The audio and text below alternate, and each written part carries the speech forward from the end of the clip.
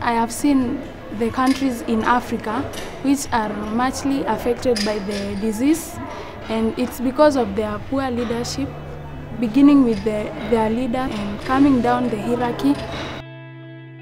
And even those our leaders should teach us should be our in front of us leading us to the right way. Hard to fight to defeat AIDS or it will defeat us.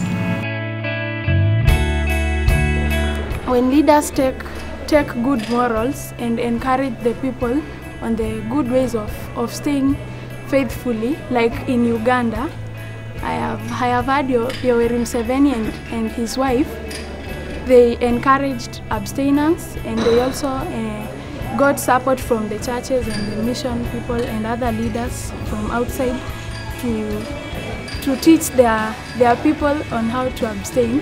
And this made the, the high population of HIV positive people in Uganda to, to go down.